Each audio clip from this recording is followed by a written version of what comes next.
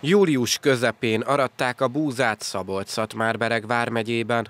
A termés hozama rendszeres csapadéknak köszönhetően kiváló volt, a két évvel ezelőtti 2021-es rekordot is túlszárnyalta. November elején pedig már az ősszel elvetett kultúrnövényektől kezdenek zöldülni a szántóföldek. A búza, a tritikál és az árpa is szépen fejlődik, a gazdák most egy viszonylag csapadékos, enyhe télben bíznak a kiváló jövő évi termés érdekében. Amikor elkezdődtek az őszivetésük a magágy előkészítések, akkor jött mindig olyan kis mennyiségű eső, hogy nagyon jó magágyat lehetett készíteni, időben elvetni, szinte hetenként jött egy kis csapadék, ami a kellést megindította, úgyhogy ha a határba kimegyünk, akkor nagy optimizmussal nézegessük a vetéseket, beződeltek a őszi vetésűek, a vetésterületek valamelyest, mintha úgy látszik, hogy a búzából, titikáléból csökkentek volna, többi kultúrnövényeket körülbelül a sok éves átlagnak megfelelően vetettünk el, úgyhogy szép a határ, bizakodóan vagyunk. Rácz Imre hozzátette, nagyon ráfért a magyar mezőgazdaságra a jó átlagtermés, a gazdák ugyanis nehéz helyzetbe kerültek a piaci viszonyok miatt.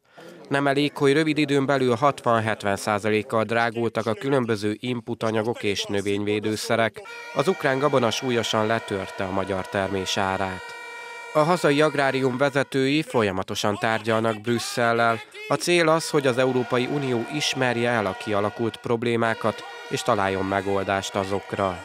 Attól is félünk, hogy, hogy ez a uniós hozzáállás azt magába hordozza, hogy fenntartsák ezt a lehetőséget Ukrajna számára, és ez nagyon befolyásolhassa a jövő évi értékesítési lehetőségeinket is, ugyanis ők a piac piacon jogosultságot szereznek, de azokat a követelmények alól mentesülnek, amit rajtunk számunk kér az Unió, úgyhogy nagyon elkeseredettek a gazdák azzal kapcsolatosan, hogy jövőre, ha fennmarad, az, én azt gondolom, hogy nagyon megzilálná a gazdáknak a számát az, hogyha két ilyen év után ugye a 22-es asszály, az idén az értékesítési nehézségek, sok gazdálkodó átütemezte a hiteljeit, de már tovább nem nagyon bírja. A Kamara vármegyei elnöke hozzátette, mivel Szabolcs-Szatmár-Bereg vármegye közvetlenül határos Ukrajnával, a problémák itt a legjelentősebbek.